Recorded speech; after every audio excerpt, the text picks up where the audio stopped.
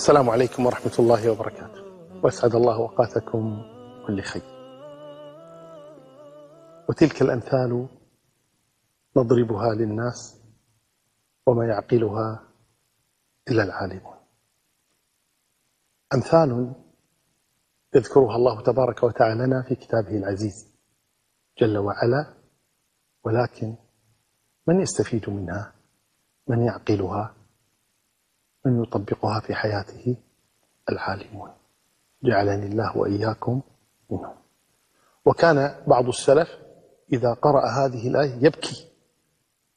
يقول أبكي إذا قرأت مثلا في كتاب الله تبارك وتعالى فلم أفهمه لأن الله جل وعلا يقول وما يعقلها إلا العالمون. وسنأخذ مثلا ذكره الله تبارك وتعالى في كتابه العزيز عن حال المنافقين.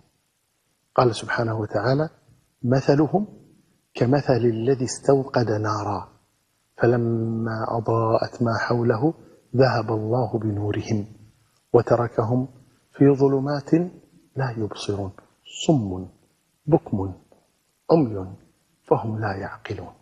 أو كصيب من السماء فيه ظلمات ورعد وبرق يجعلون أصابعهم في آذانهم من الصواعق حذر الموت.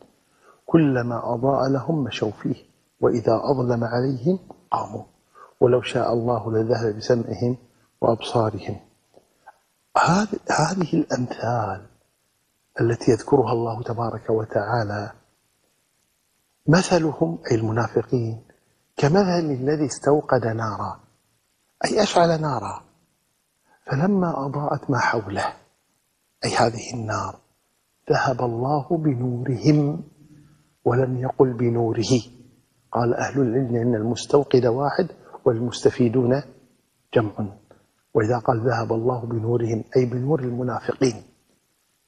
وذلك أن المنافقين يظنون أنهم يخادعون الله جل وعلا يخادعون الله وهو خادعهم.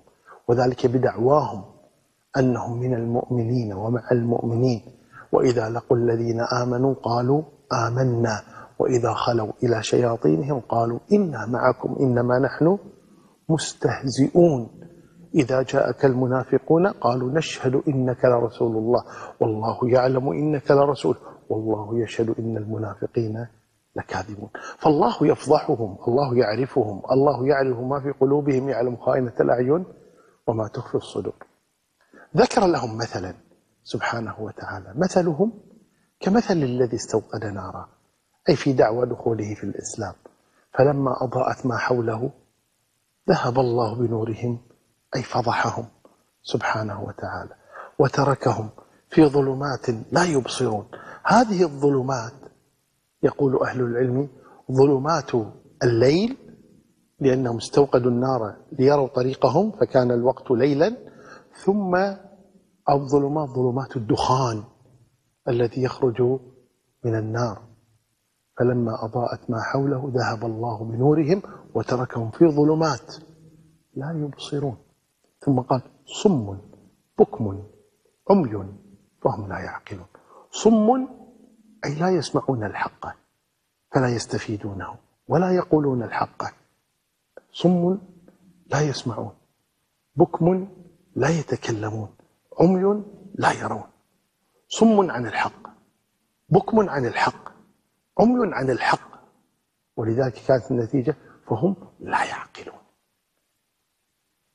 فما استفادوا من عقولهم ولا استفادوا من سمعهم ولا استفادوا من أبصارهم ولا استفادوا من كلامهم. لماذا؟ لأنهم نافقوا. سلكوا طريق المنافقين وإن المنافقين في الدرك الأسفل من النار.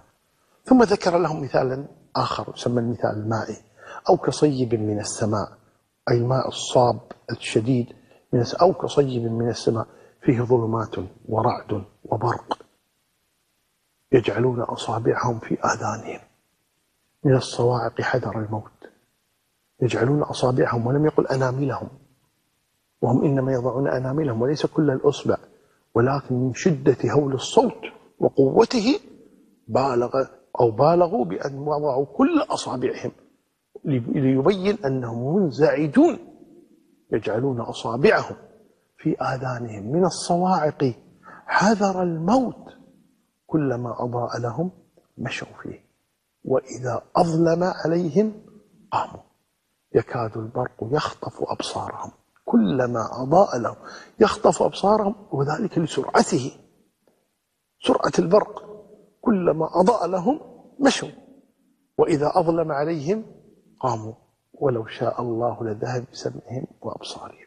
سبحانه وتعالى. أو كصيب من السماء فيه ظلمات. هذه الظلمات قالوا ظلمات, ظلمات الليل. ظلمة الليل. وظلمة الدخان. وهناك ظلمة ثالثة وهي السحاب الذي يأتي أو المطر الذي ينزل. وذلك المطر أن المطر إذا تتابع لا ترى شيئا أمامك. فظلمة المطر ظلمة السحاب ظلمة الليل هكذا وصف الله المنافقين أعاذنا الله وإياكم من حالهم. وتلك الأمثال نضربها للناس وما يعقلها إلا العالمون. جعلني الله وإياكم. منهم